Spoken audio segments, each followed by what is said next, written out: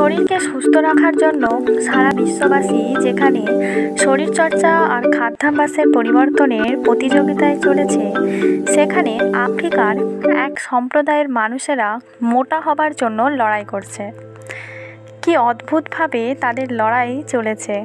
অস্বাভাবিকভাবে ওজন এবং ভুঁড়ি বাড়ানোই তাদের মূল লক্ষ্য, কারণ ভুঁড়িই তাদের সম্বল।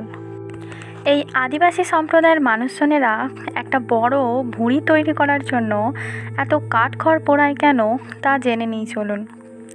ইথিওপিয়ার উমা উপত্যকার প্রত্যন্ত গ্রামের বসবাস করে এই আদিবাসী জনগোষ্ঠীর মানুষজনেরা। তাদের জীবনাচরণ খুবই অস্বাভাবিক। যুবক থেকে পুরুষ হবার লড়াইয়ে বিরাট ভুঁড়ি বানিয়ে দেখাতে হয় তাদের। তবেই মেলে আসল পুরুষের মুকুট। নিজেকে সেরা প্রমাণ করতে তাদের নিয়মিত পান করতে হয় গরুর দুধ আর রক্তের মিশ্রণ। এই জন্য ছমাস তারা আলাদা একটা ঘরে থাকে। সেখানেই আসল পুরুষের প্রতিযোগিতার জন্য প্রস্তুতি নেয় ইথিওপিয়ান বদি উপজাতির পুরুষরা। বেশ কয়েকজন অংশগ্রহণকারী অবিবাহিত পুরুষের মধ্যে থেকে সবচেয়ে মোটা এবং ভুঁড়িওয়ালা প্রতিযোগীকে বেছে নেওয়া হয়ে থাকে। এরপর তার মাথায় পরানো হয় সেরার মুকুট। সব উপজাতিরাই সারা জীবন এই মোটা ব্যক্তিকে সমাদর করেন। নববর্ষের সময় দক্ষিণ পশ্চিমাঞ্চলীয় ইথিওপিয়ার এই আদিবাসীরা এক বিরাট অনুষ্ঠানের আয়োজন করে।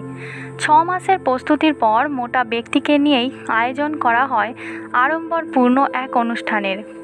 প্রতিটি পরিবার থেকে একজন করে অবিবাহিত পুরুষ এই প্রতিযোগিতায় অংশগ্রহণ করে। আর নির্বাচিত হবার পর ওই ব্যক্তি সারা জীবনের জন্য অবসর গ্রহণ করেন। তিনি যা চান তাই হাতের কাছে পেয়ে যান। তার সব চাহিদা পূরণ করে বদি উপজাতিরা এবং তিনি নিজের খুশি মতন যা খুশি করতে পারেন আর এভাবেই তার সারা জীবন কেটে যায়। মূল অনুষ্ঠানে অংশগ্রহণকারী যুবকরা ছ মাস আগে থেকেই গরুর রক্ত এবং দুধের মিশ্রণ নিয়মিতভাবে পান করতে থাকে। তবে তারা গরুগুলোকে হত্যা করে না, কারণ গরু তাদের কাছে পবিত্র প্রাণী এই জন্য বদি গোত্রের মানুষেরা বর্ষা বা কুড়াল দিয়ে গরুর শরীরে জখম করে রক্ত সংগ্রহ করে। রক্ত যাতে দ্রুত শুকিয়ে না যায়, সেই জন্য যত দ্রুত সম্ভব এক লিটার রক্ত আর এক লিটার দুধ একসঙ্গে তারা পান করে ফেলে। প্রতিদিন দুই লিটার করে দুধ রক্তের এই মিশ্রণকে তাদের খেতে হয়। সকালে সূর্যোদয়ের সময় এই মিশ্রণটি তারা পান করে।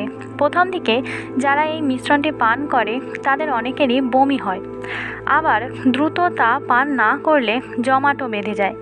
সেই কারণে বমি হলেও তাদের দু লিটারের এই মিশ্রণটিকে প্রত্যেক দিন সকালে পান করতেই হয়। এভাবে ছ মাস কাটার পর একজন পুরুষের অত্যাধিক মোটা ভুঁড়ি হয়ে যায়। তখন এই অত্যাধিক মোটা ভুঁড়ি নিয়ে তারা হাঁটা চলাও করতে পারে না। অনুষ্ঠানে যেদিন তারা পৌঁছায়, সেদিন তারা পুরো শরীরে ছাই মেখে পৌঁছায়।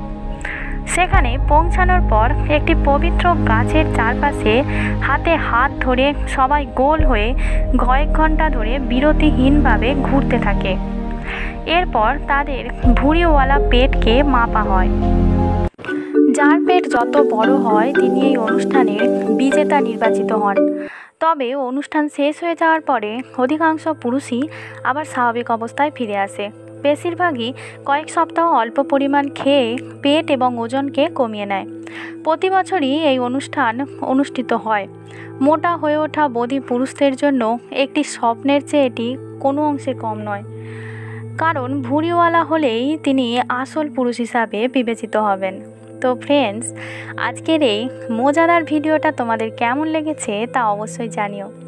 এরকম ভিডিও যদি পেতে চাও, তাহলে অবশ্যই কমেন্ট বক্সে কমেন্ট করো। Thank you